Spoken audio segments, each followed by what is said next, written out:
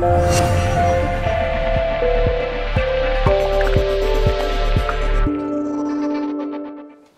soy María Rosa Casal y bueno, muchos me conocéis ya hace años, otros menos, ¿verdad?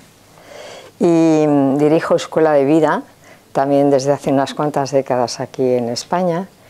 Y, mm, y aquí lo que tocamos en la escuela pues son, como lo dice el nombre, asignaturas relacionadas con el estudio del ser humano y de ese misterio que es la vida para cada vez tener un poco más de recursos para orientar, eh, para dejar de ser un corcho ¿eh? ahí flotando en el mar, ¿verdad?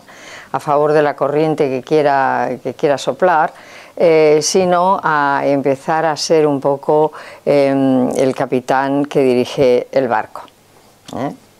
Y bueno, y el tema que vamos a tocar en esta charla, en esta tarde, eh, está relacionado con eh, la cantidad de mm, información que podemos interpretar. Eh, por supuesto que este diagnóstico puede ser extensivo a todo el cuerpo, incluidas las posturas, a los gestos, al tono de la voz, a un montón de cosas, pero hemos escogido una parcela de toda esa posibilidad de diagnóstico que es eh, eh, larguísima, pues hemos escogido la cara.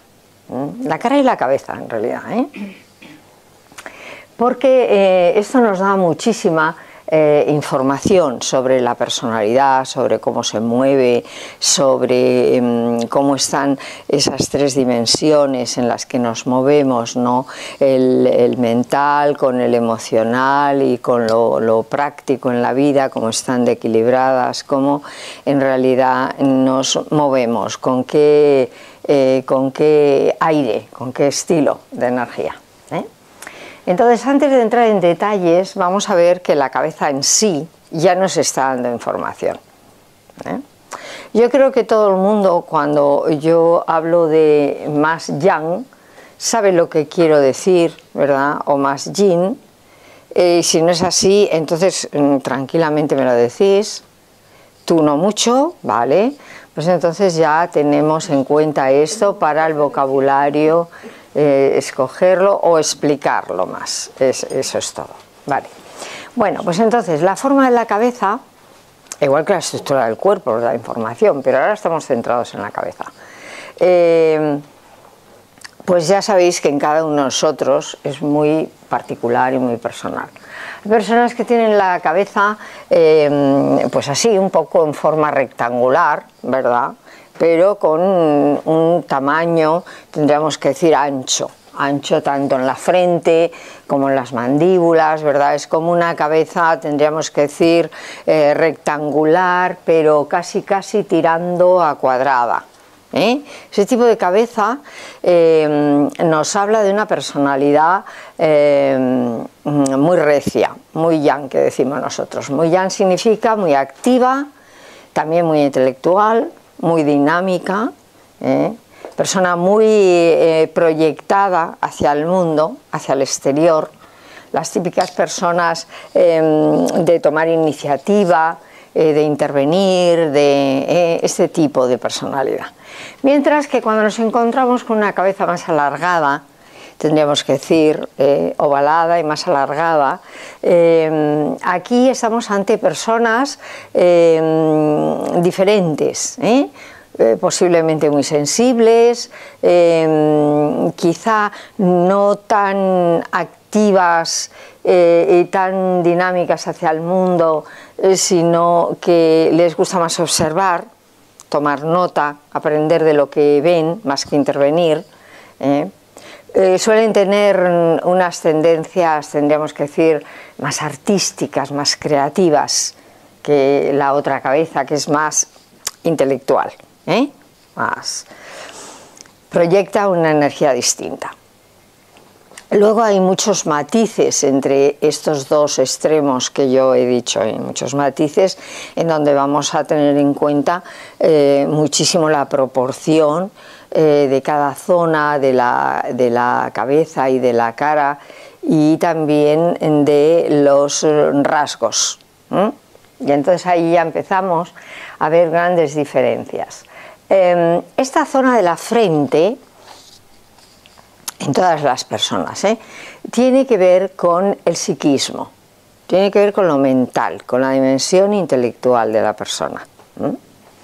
La zona media que coge la nariz, coge también los ojos y coge las mejillas, sobre todo esta parte alta de las mejillas, esa es una parte que tiene más que ver con lo emocional.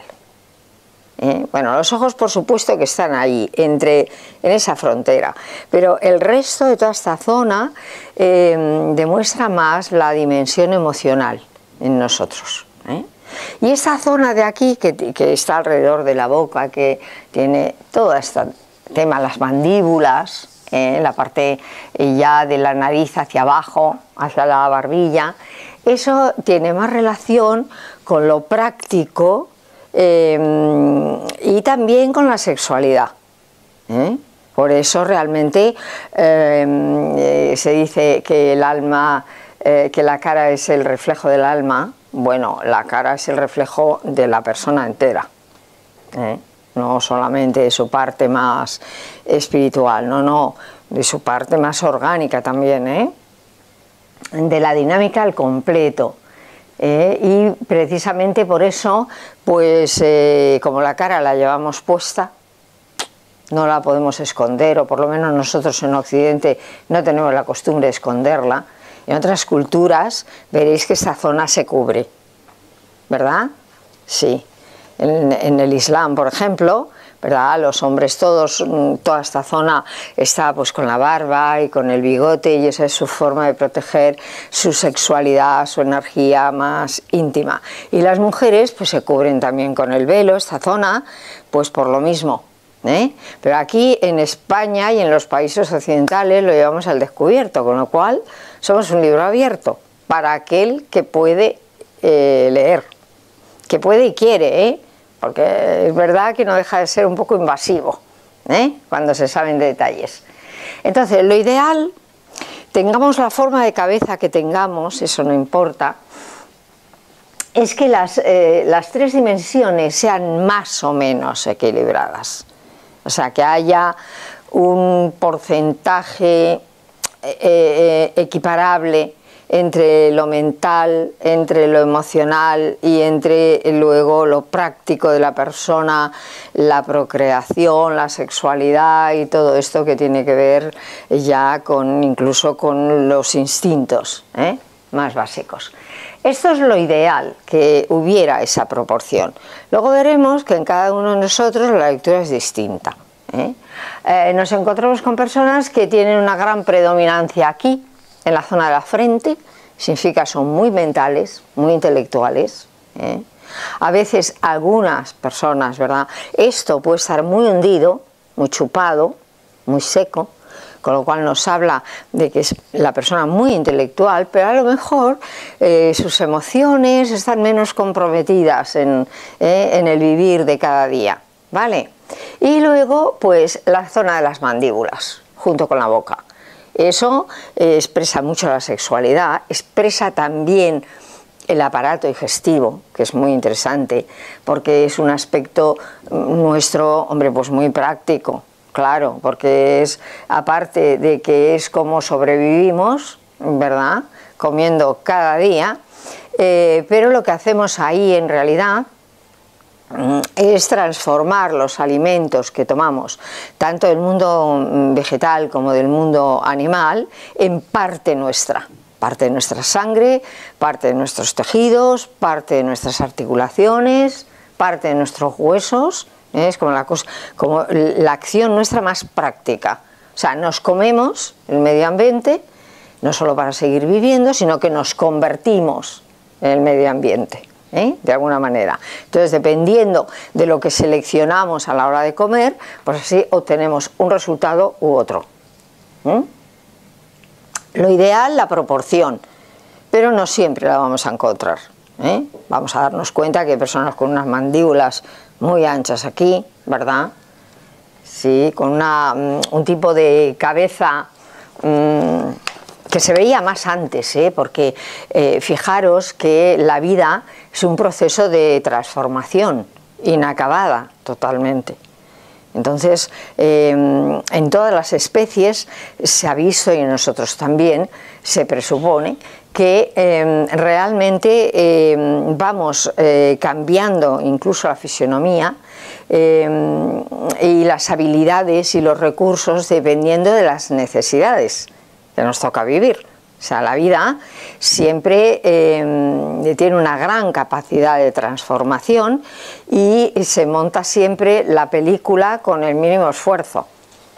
Entonces vemos, por ejemplo, eh, eh, si nos fijamos en cómo la antropología nos muestra cómo el ser humano ha ido cambiando a través de los siglos, y de los milenios también, ¿no? Veíamos que antes eh, el tipo de cabeza, yo lo voy a exagerar para comprender muy bien, el tipo de cabeza era más o menos una gran mandíbula. ¿eh? Y esa zona era una zona como más eh, disminuida.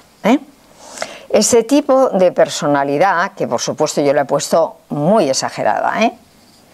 Pues eh, nos habla de un ser humano que realmente mm, ha necesitado desarrollar muchísimo su aspecto práctico, eh, la sexualidad, la supervivencia, los instintos, para poder sobrevivir. Era el, el, ser humano de hace unos miles de años que necesitaba salir a cazar porque si no ni él ni su familia vivían, ¿verdad? Y eh, de lucharse la vida con una conquista muy dura con la naturaleza. ¿eh? Un hombre muy práctico, muy fuerte, con muchos recursos asentados en la tierra y en la naturaleza. ¿eh? Esto pues quizá tenía menos predominancia en aquel entonces. Ahora se va dando más justo la cara al contrario. más aquí, esa, esa cabeza en forma de pera, ¿eh? Por supuesto, muy exagerado, vuelvo a decirlo, ¿eh? para que se vea bien la diferencia.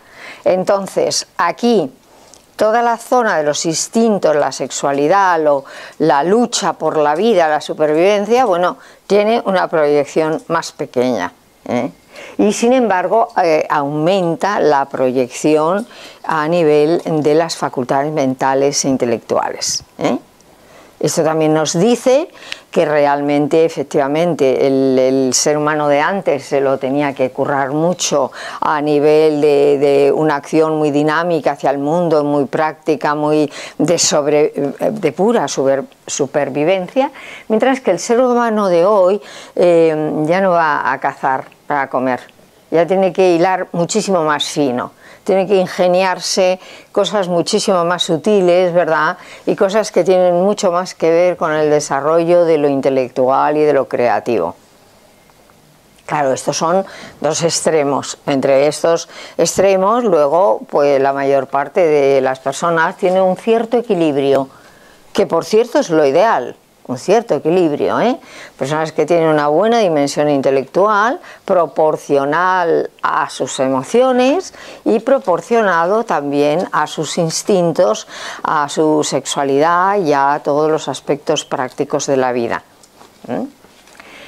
Luego, por otro lado, eh, cómo se ordenan los rasgos dentro de la cara es muy interesante. Y el tamaño, el tamaño, ¿eh? Muy interesante. Por ejemplo, el tamaño de la boca, que está muy relacionado con lo práctico, con la comida, con el aparato digestivo, también con la sexualidad. ¿eh? El tamaño de la boca es interesante y esto os va a sorprender, porque no es lo que está de moda, eh, que sea más bien pequeña la boca. Más bien pequeña, no que no haya labios, que hayan desaparecido, ¿se ve? Pero que no tenga un gran tamaño, como está de moda. Está de moda, ¿eh? La boca, eh, ¿verdad? Y de hecho las eh, chicas em, cuando no lo tienen se lo ponen, ¿eh? ¿Verdad? Claro, porque mm, efectivamente tiene un toque de mucha atracción sexual, ¿sí? Pero a la hora de la verdad lo que nos está diciendo es que esos labios eh, tan inflamados, tan grandes, tan distendidos, eh, tanto el de arriba como el de abajo, el de arriba está relacionado con el estómago y el de abajo está relacionado con el intestino, ¿eh? también con el bazo, ese aparato digestivo. Pero nos señala mucho cómo se mueve la energía en esta zona, pues eso también tiene connotaciones sexuales. Entonces, mm, eh, la boca más bien pequeña nos habla de una persona con mucho centro aquí. ¿Sí? Y cuando la boca es muy grande o eh, los labios están muy inflamados, muy distendidos, esto que se lleva ahora, que está de moda, bueno, nos habla de una persona con un centro bastante vulnerable, bastante débil. A lo mejor por eso es atractiva sexualmente. ¿Se ve? Claro, porque una cosa lleva a la otra. Pero también nos habla de las condiciones del, sistema, tendríamos que decir, incluso va a influir en el sistema inmune, aunque no es directamente, pero sí indirectamente. Va a influir en el centro, en cómo es la persona centrada o cómo es de dispersa. ¿Me explico? Claro. Y em, eh, por supuesto que eh, los de las personas que tienen la boca más bien pequeña eh, son personas que tienen esa energía muy concentrada, es decir, saben muy bien lo que quieren, no va a ser tan fácil manipularles, em, van a tener un centro muy orientado hacia lo que sí, lo que no, mucho menos manipulables los demás y eh, de hecho siempre que veáis eh, una pareja o una familia, eh, el que manda es el que tiene la boca más pequeña. Ese es el jefe, ¿vale? Ese es el jefe. Y el otro, bueno, va por donde le llevan. Esto es interesante. No me digas que no nos hubiera venido bien saber esto hace muchos años. ¿Verdad? Para haber escogido a la pareja. Cada uno dependiendo de lo que necesita, ¿no? bueno. Y la boca muy grande, pues nos habla de menos centro en la persona. ¿eh? Con lo cual, pues, aunque sea una moda y pueda ser muy sexy, como se suele decir, ¿verdad? Pues no es tan interesante eh, alterar eh, la boca que tenemos. ¿Me explico? No sería tan interesante gastarse ahí eh, demasiado dinero en cirugías. Bueno, otra cosa muy importante es el tamaño de los ojos. El tamaño de los ojos también tiene una lectura un poquito parecida a la de la boca. ¿eh? Los ojos pequeños eh, suelen ser personas con mucho poder de concentración, muy enfocadas en la vida bien o mal, ese ya es otra historia, pero con una gran capacidad de eh, orientarse. ¿eh? Eh, son personas muy prácticas, pueden ser muy trabajadoras, hay ahí una buena dimensión intelectual, tendríamos que decir una mirada profunda de las cosas, eh, a nivel no solamente de los ojos, lo que ven los ojos, sino luego cómo lo, qué interpretación le damos, ¿no? Eh, entonces el tema de los ojos tiene mucho que ver con la energía interior de la persona. ¿eh? Con lo cual, mm, y también nos enseña, nos enseña que esta zona del cuerpo, no esta, sino esta, puede estar más em, eh, tensa o más relajada. Puede ser la persona más tensa o más relajada. Cuanto más pequeños los ojos y más juntos, y más juntos, la persona más tensa. ¿Sí? Esto lo tendríamos que tener mucho en cuenta a la hora mm, de otras costumbres, de otros hábitos de vida, eh, de la forma a lo mejor en que nos alimentamos, porque alimentos muy concentrados, muy llanos, muy tal, a una persona que tiene estas características seguro que no le va a ir muy bien. ¿Se ve? Necesitaría algo equilibrado, nunca que le vaya a llevar más, más de lo que está ya al, a ese extremo. ¿eh? Pero suelen ser personas muy prácticas, muy trabajadoras, muy mm, eh, una energía muy buena ahí. Lo que tendremos que vigilar siempre es que no se pasen, porque si se pasan, entonces llega la ansiedad, llega la preocupación, llega la angustia y llegan los ataques de pánico.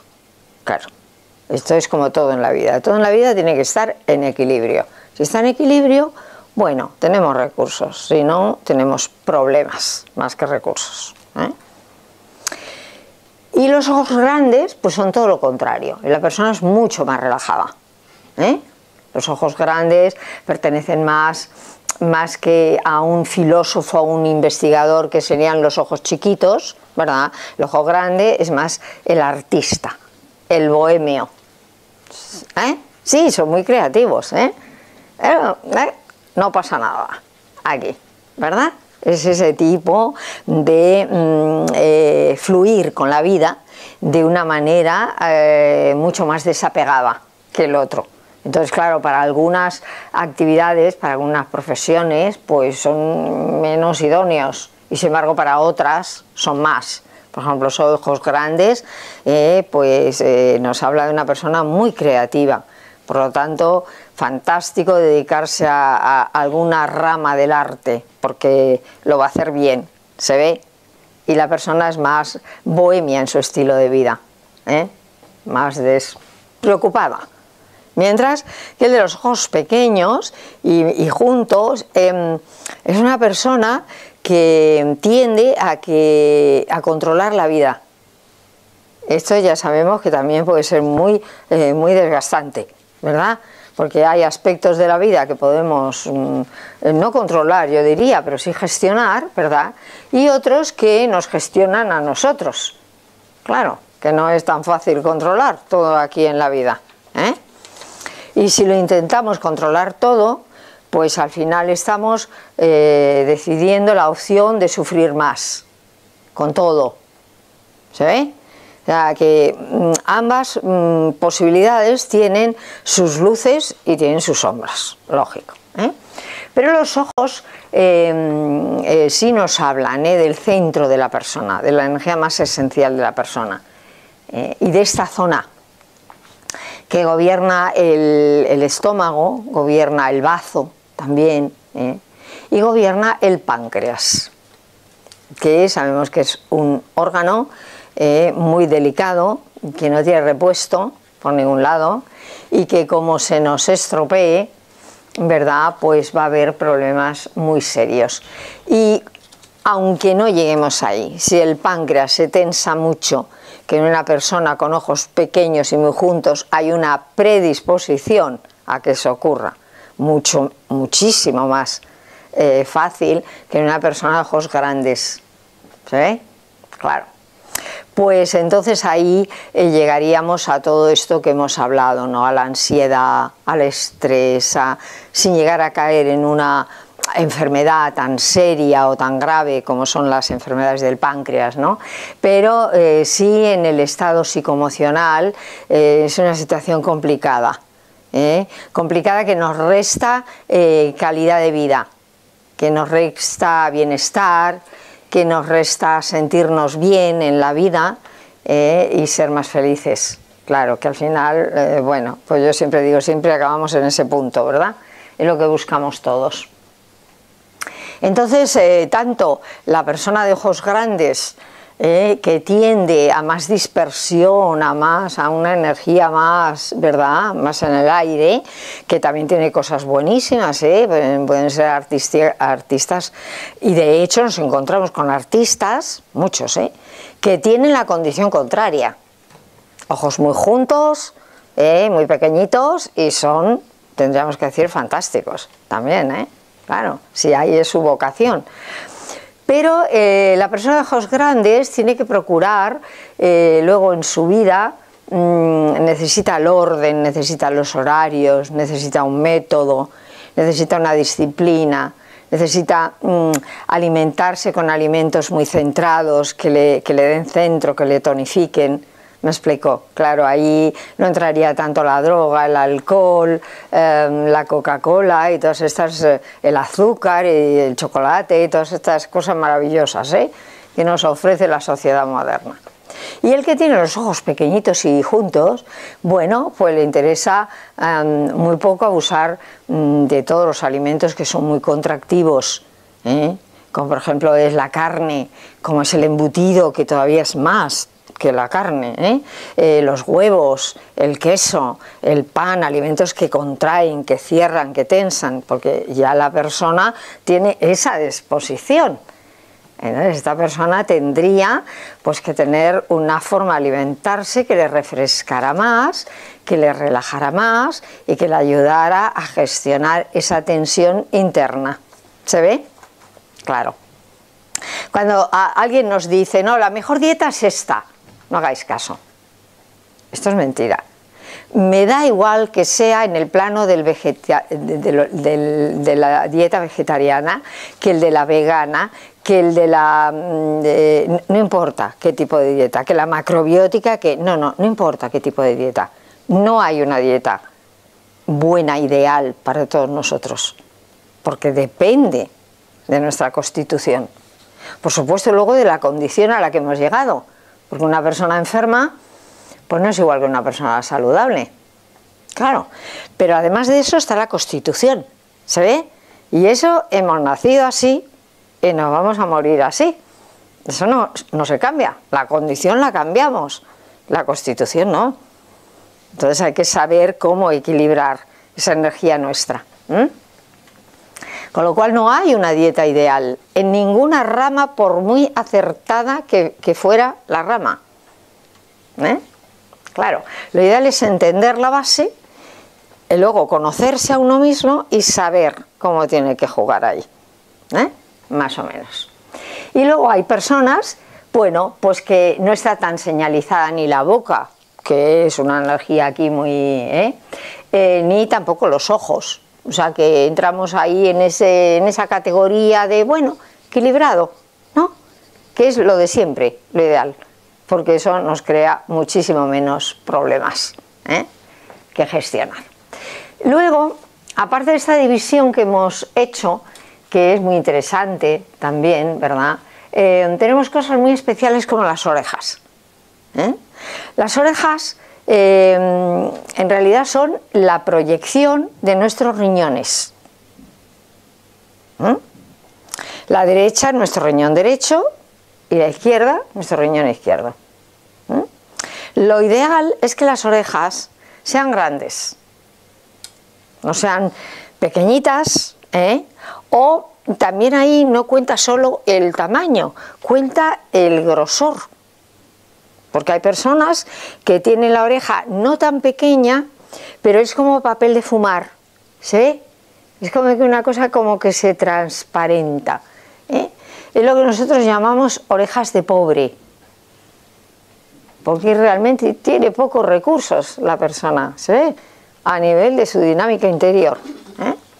Y luego cada una de las orejas, bueno, es como la antena del riñón, ¿eh? igual que el oído, el sentido del oído es mm, las antenas del riñón, sin duda, ¿verdad? Pues la oreja, que es la parte más externa, ¿verdad? Lo que comunica con lo de fuera, es también la, antena de los riñones. ¿eh? Entonces, todo lo que pasa en las orejas. Una pérdida de audición. ¿eh? nos dice lo que está pasando en el riñón. una infección nos dice lo que está pasando en el riñón. ¿Se ve? Tapones. ¿eh? O una em, energía muy seca o todo lo contrario. Todo eso es el estado de los riñones. Y por supuesto que lo que vendría em, mejor de todo es que las dos orejas fueran más o menos equilibradas. Veréis que mm, totalmente al 100% nunca son. Siempre es diferente la derecha que la izquierda, muchas veces de una manera muy espectacular, en tamaño incluso, y eso nos habla del potencial del riñón. ¿eh? Por eso una oreja muy chiquitita pues tampoco es muy interesante, ¿eh? porque nos habla de una constitución no tan fuerte. ¿eh?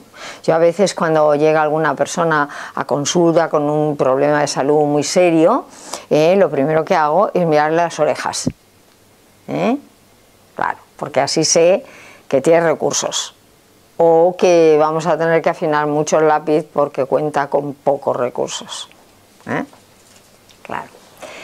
Bueno, y luego hay distintas zonas que ya nos olvidamos de que tiene que ver con, con lo mental, con las emociones y con lo práctico. Em, distintas zonas que lo que hacen es proyectar eh, los órganos internos. ¿eh? Por eso la cara es un buen mapa del que nos podemos fiar. ¿eh? Eh, y que nos va a dar señales incluso mucho antes que una analítica o que unas pruebas médicas, que ya cuando nos dan noticia, ya la cosa es que realmente está un poco complicada, ¿no? Mm, ya lo vemos en la cara, porque los órganos internos se proyectan en la cara. Y lo ideal, entonces, eh, es lógicamente tener una piel mm, relativamente limpia, a nivel general. Luego no importa el color de la tez de cada uno, ¿eh? eso, es diferente. Pero una piel limpia, ¿eh? que tenga un aspecto limpio. Ahí vemos que la piel pues saca hacia el exterior un montón de basurillas que no salen ni por medio del riñón, ni por medio del hígado, ni por medio de los pulmones, ni por medio del intestino, y la piel se encarga de sacar aquello fuera. Los problemas de piel no son únicamente problemas de piel. ¿Me explico? No, no. Son problemas de los órganos que se conectan a través de esa zona con el mundo externo. ¿eh? y que van a aprovechar pues eh, si hay pequeños o grandes, me da igual, basureros, pues van a aprovechar a limpiar. ¿eh? Y lo hacen un método muy fácil para el cuerpo, es la piel. ¿eh? Entonces lo ideal es que en la cara que se proyecta en todos los órganos, la piel sea una piel limpia. Claro. Y el estado de esa piel nos habla de la energía a nivel general. Por ejemplo, una piel muy seca, ¿eh? pues nos habla de una condición energética por dentro de la persona muy seca. Y una persona muy grasienta, una piel muy grasienta, ¿me explico? Nos habla de un exceso de grasa. Es tan fácil como empezar a cocinar con menos grasa y empezar a comer productos que tengan menos grasa. ¿Se ve? Claro, la piel nos habla de lo que está pasando dentro. Ya luego cuando empieza a sacar cositas fuera, granitos de grasa, mm, salpullidos rojos, que nos habla de una energía muy, de mucho fuego, de mucha congestión ahí, que realmente sale por donde, por donde puede. Entonces, la piel de la cara eh, no tanto se trata de conseguir que esté limpia con cosméticos más o menos caros. Se trata de que estén limpios los órganos. ¿Se ve? y entonces ya no va a valer cualquier crema para que la piel esté bonita y tenga luz. Y de la otra manera, pues puede ser una piel pues muy grasienta o puede ser una piel excesivamente seca o puede ser una piel llena de erupciones, de granitos, de manchas, de pues un montón. ¿eh? La variedad es infinita. ¿eh? Claro, entonces también el color, ¿eh? también el color, porque cada uno de nosotros tiene un cierto color de tez. Y cuando nos movemos en ese cierto color, bueno, pues es nuestra constitución o nuestra condición en ese momento. Está bien, no pasa nada. El problema a veces es ver que la persona tiene a nivel general un color y luego hay una zona que claramente ha cambiado su coloración, mucho. Y ahí vemos zonas más candidatas que otras a que esto suceda, porque hay em, órganos muy importantes que se proyectan en esa zona de la cara. Tenemos, por ejemplo, la frente. La frente es muy interesante, ahora ya estamos viendo órganos, ¿eh? No estamos viendo qué es lo intelectual, qué es lo mental, no, no, estamos viendo órganos. Eh, entonces, en la frente se proyectan eh, el intestino, el delgado y el grueso, los dos. Con lo cual quiere decir que la, piel, la textura ahí de la piel, los poros de la piel, eh, qué, apariencia tiene eh, esa piel ahí, nos habla de lo que está pasando en los intestinos. Y esta zona de arriba, que está generalmente muy cerca de la raíz del pelo, ¿eh? tiene que ver con la vejiga. Y ahí hay muchas personas que tienen como una especie de abultamiento, o sea, la frente se abulta, ¿eh? por supuesto no es el hueso, ¿eh? y nos habla de una, mm, bueno, de una vejiga ya un poco inflamada. Se puede poner también esa zona, eh, no solamente un poco abultada, sino eh, cambiar de color, ser muy rojo, que nos habla de cuando la vejiga está muy congestionada. ¿Se ve? Pues posiblemente mm, eh, muchas toxinas son las que tiene que limpiar el riñón de la sangre o también muchas toxinas emocionales tiene que limpiar la persona. ¿Eh? Y entonces esa zona se pone, eh, claramente cambia de color, se pone como muy roja, como muy irritada, como muy grasienta si hay exceso de grasa, ¿verdad? Como abultada si hay una inflamación. O sea que todo esto eh, son señales, mm, bueno, pues que en las mujeres es más difícil seguirnos la pista por la cantidad de, de cuestiones que nos damos, ¿verdad? Para estar más guapas. Mm, sí, pero hay cosas que de todas formas no se pueden disimular. ¿Se ve? Claro, y entonces tú ves un poco ahí. Eh, luego esta zona de las sienes es muy interesante porque la zona de las sienes tiene que ver con el sistema linfático. Mm. Entonces lo ideal es que ahí el color esté limpio mm, y, y veréis, ¿no? en personas a lo mejor muy ancianas, o con una calidad de vida a lo mejor ya un poco estropeada, vais viendo cómo la zona de las sienes se va poniendo azulada, mm, azulada o incluso ennegrecida, ya nos habla de que el sistema linfático eh, ya tiene más dificultad para drenar y limpiar. Mm. Y el intestino delgado se proyecta en la zona media y el intestino grueso hace como el marco. Pues igual que lo hace aquí en las tripas, pues igual en la frente. ¿eh? Entonces, la piel de la frente debería ser una piel limpia, no llena de granos, ¿verdad? Ni de sangre, ni de grasa, ni de nada, porque eso nos dice que el intestino está mal. ¿eh? Mucha grasa. En estos países mediterráneos, ¿verdad? Este, donde tenemos un aceite de oliva tan estupendo, pues muchas veces no se controla esta historia. Como es tan estupendo el aceite de oliva, ¿verdad? Y yo veo a la gente cuando adereza la ensalada que hay más aceite que ensalada. Y tú dices, bueno, ¿no? Y así, nos pasamos ¿eh? con el aceite. Nos pasamos con el aceite porque aquí es barato. Pues si nos fuéramos a Inglaterra, veríais cómo contábamos las gotas de aceite. ¿eh? Pero bueno, que no es una buena cosa. El aceite es estupendo, eh, pero es estupendo en una cierta medida. Y cuando ya traspasamos esa medida, ya como todo en la vida, ¿verdad? La calidad, pues altera la calidad. Y entonces ahí se ve en la frente, porque es con la frente como que rezuma de grasa, de, ¿se ve? Pues una persona que hay que decirle, oye, estate un mes eh, y sin, cocinando sin una gota de aceite. ¿Eh? Le cambia completamente el intestino y la piel que proyecta esta zona. ¿Se ve? Pero la gente, no, como esto no lo sabe, pues se cree que es un problema de piel. ¿no? Y hay cremas y cosas, y lociones astringentes y yo qué sé, cuánta cosa. Pero esto viene de dentro. ¿eh? Como también las arrugas. Hay unas arrugas que son Em, ciertamente de expresión, ¿de acuerdo? De cómo nos reímos, de cómo hablamos, de cómo gesticulamos. Pero esas arrugas, si la persona está mínimamente bien a nivel energética, son lo que se llama la arruga bella. No nos afea. ¿Se ve?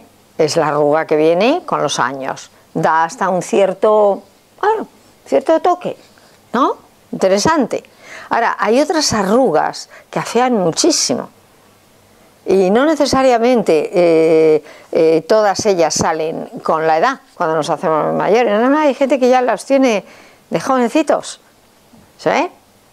Y son arrugas muy pronunciadas, que, que, forman surcos en la calle, en la cara, como si fuera un valle, producen ahí un valle. Eso nos habla de la cantidad de grasa de más ¿eh? Que hay en el órgano que se está proyectando ahí. Entonces las arrugas en la frente no si los intestinos están mínimamente bien, no tienen que ser esas arrugas que producen valles y surcos. ¿Se En que se arrugas, pues de la forma en que nos reímos, hablamos, gesticulamos, que son arrugas mucho más discretas, que no nos afean. ¿eh? Vale. Y luego tenemos la zona de los ojos. La zona de los ojos, bueno, eh, la zona del entrecejo no se me ha de olvidar esa zona, es una zona mm, muy interesante porque es donde se proyecta el hígado y la vesícula biliar, el entrecejo. Entonces, el entrecejo es el hígado. Bueno, el hígado y la vesícula. Entonces, cuando ahí se produce eh, una arruga muy profunda en el medio, del entrecejo, es hígado. Nunca debería haber ahí arrugas excesivamente profundas. Porque todo lo que es una arruga excesivamente profunda nos está hablando de un exceso de grasa en el órgano que se proyecta ahí. ¿Se ve? Entonces, si la arruga está muy marcada, produciendo un surco muy profundo, porque hay mucha grasa en el hígado. ¿Se ve? Claro. Por lo tanto, luego pues no nos tiene que extrañar ir al médico y que el médico diga, no, es que tiene nódulos de grasa en el hígado. ¿Va? ¿Eh? Si en vez de ser una raya en el medio del entrecejo, son dos en los laterales, ya no es el hígado. Estamos hablando de líneas verticales, de arrugas verticales. Es la vesícula biliar. Entonces, si el hígado o la vesícula biliar o los dos están muy sobrecargados, y eso es lo que se ve en esas arrugas verticales del entrecejo, podemos tener totalmente eh, claro que la persona tiene un carácter difícil. También esto nos hubiera interesado saberlo hace muchos años, ¿verdad? ¿A que sí? complicada la persona en su carácter. Porque el carácter nos lo da el hígado y la vesícula. ¿Sabes? Y si eso está muy saturado, muy congestionado, muy cargado, muy yang, como decimos nosotros, eh, la persona tiene dificultad para emocionalmente relacionarse. ¿Se ve? Claro.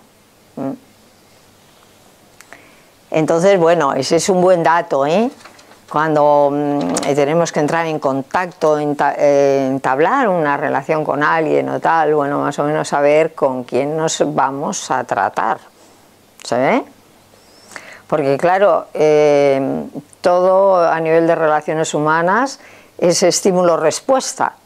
¿Se ve? Entonces, eh, depende de cómo nos acercamos a alguien, bueno, vamos a condicionar más una respuesta u otra, ¿a que sí?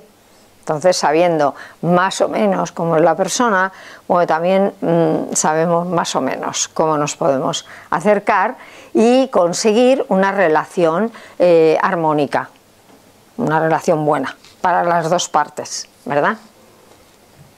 Sí. Entonces, ahora muy interesante eh, empezar a hacer esta lectura con los políticos. ¿eh? Los tenemos todos los días en la televisión vamos, un campo de investigación y de práctica precioso. ¿Vale? Leerle las arrugas que tienen en la frente. No sirve, ¿no? ¿Eh? Que si muchos llevan cirugía, que eso no sirve, que no vamos a verlo claro. Bueno, los que se han hecho cirugía. Bueno, entre los políticos yo creo que no. Tienen otros grandes defectos, ¿eh? Pero quizá ese no tanto, ¿no? Bueno. No, las bolsas siempre se ve, cuando un político llega al poder, se le ve con una carita a la mar de mona, a los cinco años. Tienen una cara, que ya no tiene nada que ver con esto. ¿eh? Claro. Bueno, mm, de cualquier forma, yo he dicho esto pues por romper un poco el hierro, ¿no? Porque además estaba viendo que os estabais poniendo muy serios. Y hay que reírse. Aquí mm, lo más importante de la vida es divertirnos, ¿eh? Entonces, esa zona es la zona que marca un poco el carácter de la persona. Sobre todo las arrugas que hay allí a nivel vertical eh, son el hígado. Y luego, el tema de los ojos, eh, muy importante. Lo que es alrededor del ojo está muy relacionado con riñones. O sea, los riñones a nivel de tamaño, de grosor, de. bueno, es, la oreja. Pero a nivel de su estado energético es alrededor del ojo. ¿eh? Lo que nosotros llamamos la ojera. Esta zona por debajo del ojo, que es donde se ponen las bolsas eh, cuando el riñón empieza a tener dificultad para filtrar, ¿verdad? Por eso es más fácil que salga eh, cuando la persona se va haciendo mayor a cuando son jovencitos. ¿no? sin embargo, vemos esas señales, no solamente en gente joven, sino incluso en niños. Que yo. Mm, eh, mm, me da eso muchísima pena, porque los veo a veces por la calle y mira, esta niña tiene 5 años, mira cómo tiene los riñones, ¿no? Entonces, bueno, mm, la bolsa. Y luego eh, también ahí contabilizamos mucho el color, el color que tiene esa zona. Pues es un color muy oscuro, muy azulado, muy negro, o muy marrón, o muy siempre en tonos oscuros. Hay personas que incluso parece que llevan gafas, porque es todo alrededor de los ojos, ¿eh? como si llevaran gafas de sol. No ahí. Bueno, esto sería momento de ponerse rápidamente manos a la obra para a nivel energético mm, fortalecer esos riñones y equilibrarlos antes de que la analítica nos dé un disgusto. No hay que esperar a que nos dé el disgusto la analítica, ¿eh? Claro.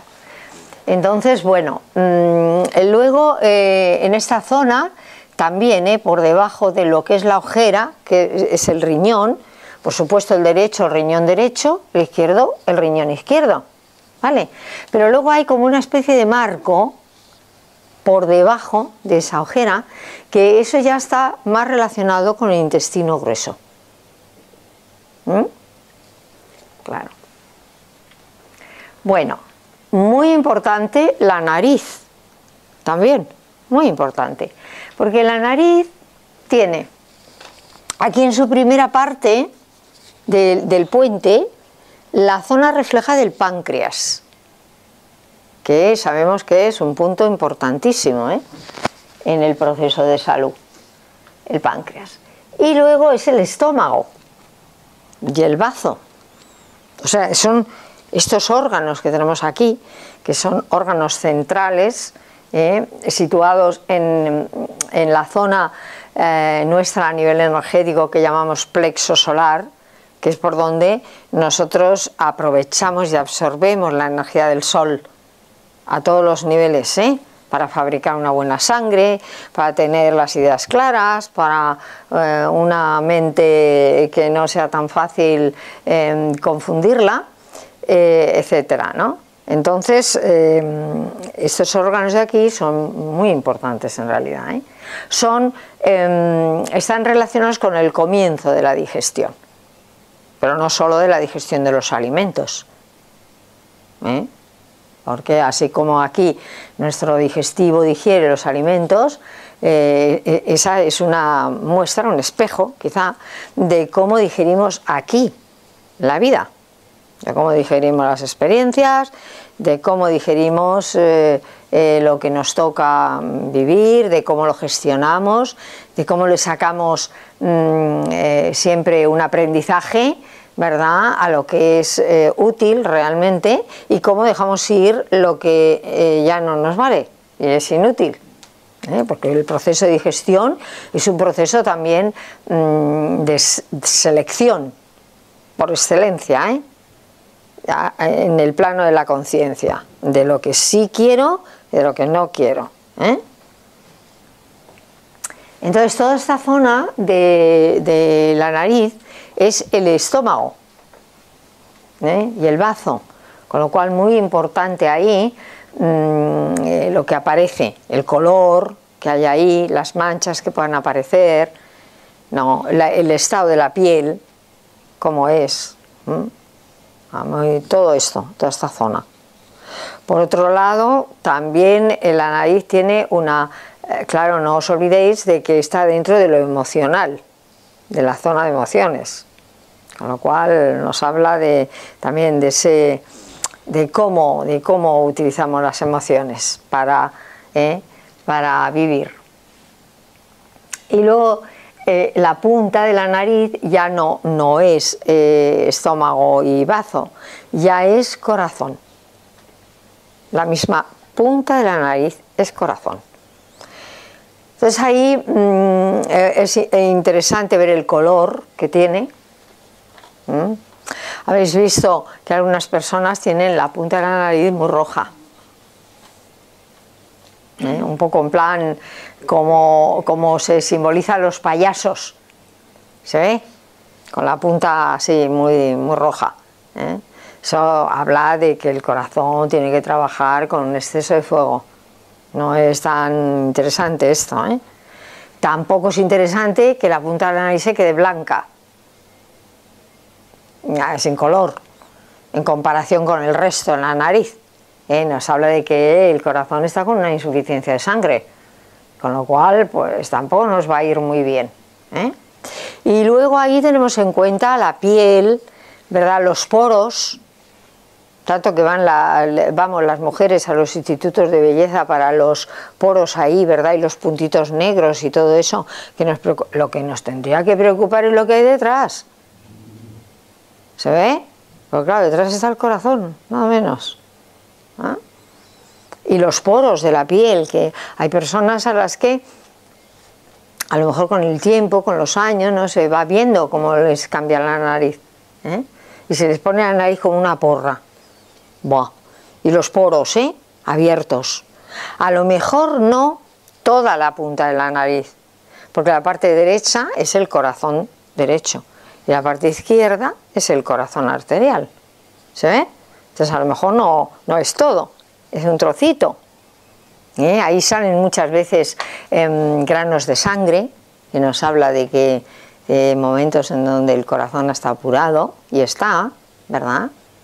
venitas más o menos azuladas, más o menos rojas, capilares rotos, ¿se ve? Cuando esto ocurre en la punta de la nariz es lo que está pasando en el corazón. ¿Eh? Claro, muy, eh, se ve muy fácil esto. ¿Y los puntos negros qué significa? Bueno, mm, grasa, bastante grasa a nivel de corazón, sí.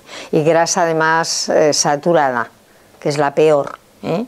porque siempre tenemos que distinguir entre la grasa, por ejemplo, a la que yo hice referencia hace un rato, el aceite, ¿eh? es una grasa mm, diferente que una grasa saturada como la de los productos animales, que aunque no veamos la grasa, la tiene.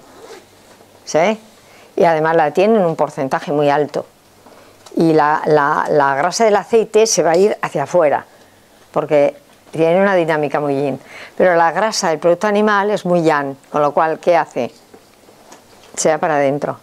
Dentro del corazón, dentro de los riñones, dentro del hígado, dentro, dentro. Que es donde más peligrosa es. ¿Se ve? Por eso, mm, eh, cuidado a nivel de cómo escogemos dietas para adelgazar y para... ¿Se ve? Porque es verdad que el producto animal no engorda hacia afuera, la grasa, no, hacia afuera no, pero hacia adentro puede estar colapsando un montón de órganos, ¿se ve? Claro. Entonces, bueno, la punta de la nariz nos da muchísima información, ¿eh? Sí. Y eh, la zona ya de las aletas, estas zonas bajas, ya no es corazón, ya tiene más que ver con bronquios, eh, sobre todo con bronquios, que es la entrada a los pulmones. Las zonas de mejilla son pulmones. Eso ahí es interesante que la piel también sea limpia, no esté llena de espinillas, de granos, de manchas, no, esté limpita. Porque la energía de pulmón, ¿eh? la de las mejillas, todo esto, pulmón. Y luego llegamos a la zona de la boca, muy interesante la zona de la boca. ¿eh? El labio superior más relacionado con estómago y el inferior es más bien intestino em, y bazo también, ¿eh? también tiene una proyección de bazo. Y las comisuras es el duodeno. ¿eh? Por eso cuando éramos niños y comíamos fruta verde, de donde quiera, eh, nos salían aquí poceras. ¿eh? Por el, efecto de esas frutas verdes en la zona del duodeno. Y em, eh, todo esto está relacionado con caderas, O sea, a nivel del cuerpo coge toda esta zona. Sí, la zona de mandíbulas, ¿eh? son caderas, claro. Entonces, la zona superior al labio eh, superior, toda esta zona, es aparato genital. Todo esto es aparato genital. Todo esto es aparato genital, en realidad, ¿eh? La barbilla también, ¿eh? Muy relacionada con vejiga, con riñón y con genitales. La barbilla. El color que tenemos en la barbilla, pues también es interesante. ¿Eh? Hay personas que esto lo tienen rojo completamente, fijaros, ¿eh? Claro, un toquecito de color, bueno, hasta puede ser un poco sexy. ¿Se ve? Claro. Por eso eh, las mujeres nos damos un poquitillo de colorete por aquí, ¿verdad? Para no estar demasiado pálidas ni lánguidas. Eh, un poquito de toquecito aquí para que el corazón esté ahí un poco vibrante, ¿verdad? Y un poquito aquí. Ah, ¿eh? es genitales, es la sexualidad, es... Pero ese toquecito está muy monamente así, pero si eso lo vemos sumamente exagerado, pues ya sabemos que hay un problema. ¿Eh? Claro, todo esto, ¿eh? los granos que aparecen aquí, mucho en la adolescencia, las espinillas en toda esta zona, pero que puede, puede ir mucho más allá de la adolescencia. De hecho, hay cantidad de mujeres que antes de llegar su momento de periodo se llenan de granos por aquí. Es como que ya el aparato genital está a tope y la sangre de esa basura, tendríamos que decir, mm, de toxinas eh, eh, también emocionales, ¿eh? y se llena toda esta zona. Se pone muy fea. ¿Se ve? Claro. Y viene de ahí. Eh, luego viene la regla, la regla de alguna manera limpia, descarga y bueno, ya todos esos síntomas se aligeran un poco. ¿eh? Hasta el próximo mes. Pero esto ya nos habla de que ahí hay un aparato genital muy cargado, muy congestionado eh, y muy, que fluye em, con mucha dificultad. Todo lo que pase aquí, ¿eh? Todo lo que pasa aquí claro, lógicamente. Y aquí tenemos, cuando nos vamos haciendo mayores, ¿verdad? Las, eh, mujeres, el famoso código de barras. Sí, ¿qué significa? Pues que el aparato genital a esa edad ya va teniendo muchísima menos vitalidad, menos energía. ¿Eh? Claro. El color también, ¿eh? Contabilizamos muchísimo el color en esa zona porque ahí mm, eh, no convendría ni un color muy rojo, lógico, pero tampoco nos convendría un color muy oscuro, muy ceniza, muy gris, oscuro, muy negruzco, ¿no? Eso tampoco. ¿Se ve? Entonces el color nos habla mucho de lo que, de lo que puede estar pasando. Entonces, pues eh, bueno, eh, bueno, nos queda hablar un poco de las cejas. ¿eh? Las cejas eh, es muy interesante porque están relacionadas em, en cierta medida con la vejiga y con la constitución de base de la persona. Por eso la constitución. Ah. Por eso es bueno que haya unas buenas cejas. Es tan interesante andar quitando em, y depilando y depilando y dejar esas cejas finitas, que hubo un momento que era la moda, ¿no? De tal forma que hubo em, mujeres que luego ya, claro, no salen, no salen, porque hay que tener en cuenta ¿eh? que hay un es como una pescadilla que se muerde la cola. Esas zonas que proyectan el estado de los órganos también tienen una relación con los órganos, una relación de biofeedback. ¿Se ve? Entonces nosotros depilamos ahí, pues llega un momento en que la ceja puede desaparecer, lo cual no es ninguna cosa para celebrar. Porque las cejas hablan de, bueno, de la constitución de la persona, igual que las orejas. ¿eh? Bueno, pues em, hay muchísimo más, como os podéis figurar, ¿eh? todo el mundo, pero hemos dado lo más importante para que ya empecéis a hacerle la interpretación al marido, a la suegra, aunque no le vamos a decir nada, ¿eh? No le vamos a decir nada, vayamos con mucha eh, cautela, ¿verdad? Pero, eh, y sobre todo, para empezar a hacernos a nosotros mismos, ¿eh? Cuando no estamos, eh, no llevamos pintura ni llevamos nada que disimule, como yo digo, cuando estamos a pelo, ¿verdad? Pues ahí. Y decir, ah, mira, pues esto eh, está bastante bien, ¿verdad? Pero esto otro, pues oye, podría estar mejor, ¿verdad? Y ahí eh, ir viéndonos y aprender un poquito también, que realmente hay mucha información en la cara en la piel, en los diferentes colores, en las diferentes arrugas. Eh, todo esto es un mundo que si sabemos interpretar eh, nos da mucho conocimiento. Eh, y un conocimiento que no le podemos obtener a través de la analítica ni de las pruebas médicas. ¿Me explico? Porque es el estado energético. Pues posiblemente no ha llegado para nada todavía al nivel de la bioquímica, ¿se ve? Afortunadamente sea que siempre nos da un margen grande para empezar a cambiar condiciones. ¿eh? ¿Alguna preguntita que sea fácil para que yo la sepa responder? No me vayáis a dejar mal ahora. Perdón, ¿la comisura?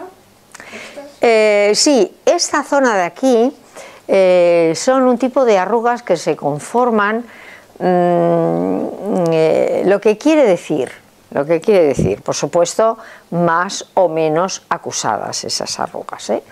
No deberían estar profundamente eh, acusadas, pero el cómo se dibuja eso en cada uno de nosotros, que tiene mucho que ver con, la estructura de las mejillas y cómo gesticulamos, em, para nosotros, ya entrando en más finura, decimos que cuando esto es grande, la persona es de casa grande. ¿Sí? De casa grande, quiere decir, tiene recursos, ah. tiene posibilidades. ¿Eh? Una persona con posibilidades. ¿eh? Y cuando esto además em, es muy largo, muy largo, muy largo, muy largo, habla también de posibilidad de larga vida. ¿Eh? O sea que ahora también le vamos a encontrar el chiste de las arrugas, no solamente los defectos. Si tenemos arrugas, nos morimos pronto. No, no, no quiere decir eso, porque ya, ya hay un perfil, ¿no? Sí, claro, ya hay un perfil, lógico. Y también aquí influye mucho la edad, ¿sí?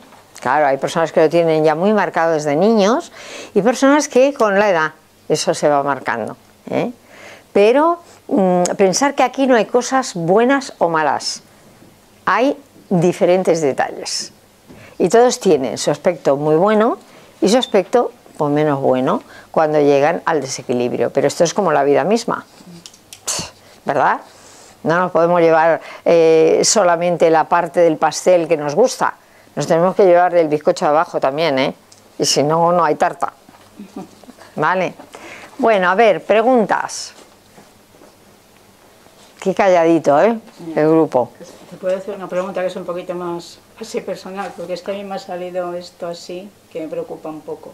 Aunque el médico me dijo que no, que no tenía importancia, pero es que me ha salido esto así. Ah, sí, sí. Es como una especie de lunar, ¿verdad? Sí, dice que es como lo que tenía Gorbachev y esas cosas que le salían. Sí, sí, sí, sí, sí. Mira, Para nosotros, todo lo que son eh, lunares o incluso esto... Aquí es menos, aquí es muy pequeñito. Incluso tiene un poco de relieves, más que luna, es como una especie, tendríamos que decir, quizá ya está entre el lunar y la verruguita, ¿no? Es ya un poco en, esa frontera. Para nosotros casi siempre mm, esta zona eh, son linfáticos, ¿eh? Claro el sistema linfático. Em, casi siempre nos habla de mm, quizá de cómo el cuerpo está liberando un exceso de proteínas. ¿Eh? Las verrugas totalmente son proteínas. Sí. Y los lunares, que todavía no tienen volumen, es más bien solamente la pigmentación de la piel lo que cambia, es más bien como una especie de fiebre que ha habido en esa zona, en ese órgano profundo, eh, y cuando el órgano ha superado, pues lo saca fuera. Eh, y ahí es más el lunar. Pero en tu caso yo le veo como un poquito más de, como de volumen, ¿no? como si fuera más bien un, poquito de verruga. Pues no tengo ya mucha proteína.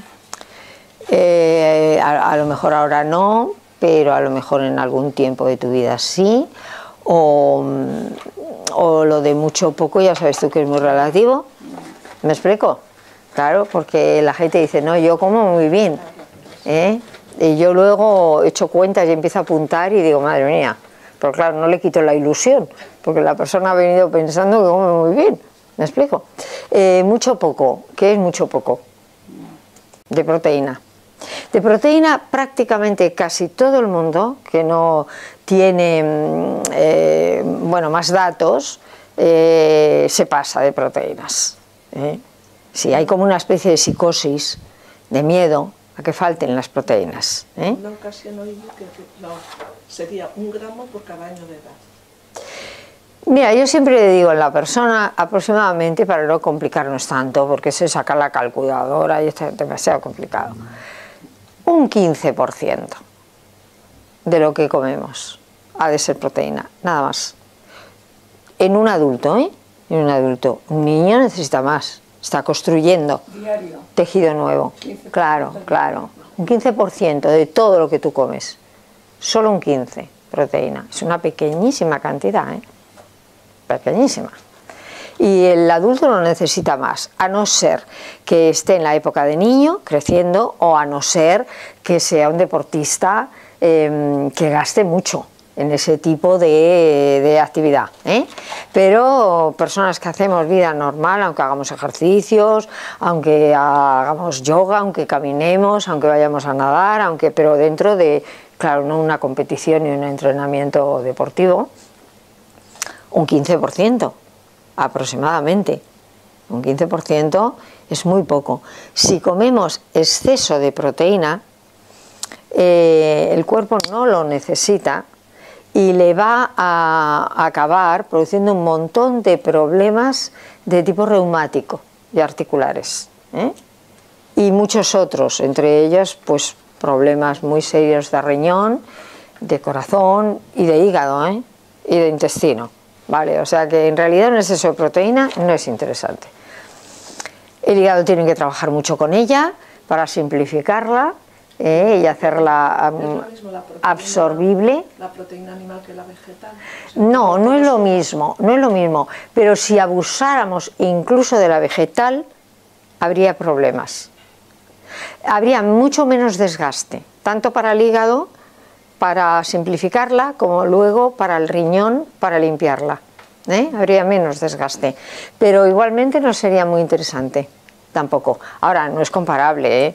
claro, muchísimo mejor la vegetal que la animal. ¿eh? Pero el hígado ahí tiene que trabajar mucho, tanto para simplificar una u otra, hacerla absorbible para nosotros, aprovechable, y todo lo que no vamos a utilizar, que ya os digo, en un adulto un 15%, un 20% como mucho en personas que tienen más gasto, em, todo lo demás el hígado tiene que convertirlo en urea lo manda la sangre y es un desgaste tremendo para los riñones. Primero ha sido un desgaste tremendo para el hígado y ahora es un desgaste tremendo para los riñones con el consabido riesgo de problemas reumáticos y demás. Entonces un cuerpo saludable lo que hace cuando tiene exceso es que lo echa fuera. ¿Se ve? Esto lo que hace falta es entenderlo. ¿Qué hace? Lo libera. ¿Cómo? Pues a veces en problemas de piel, a veces en lunares, a veces en verrugas, a veces en, en catarros, a veces en procesos infecciosos, pero lo echa fuera. ¿Sí? Y esto es algo que le tenemos que agradecer mucho al cuerpo, porque nos habla de que tiene una condición saludable. ¿Mm? Claro.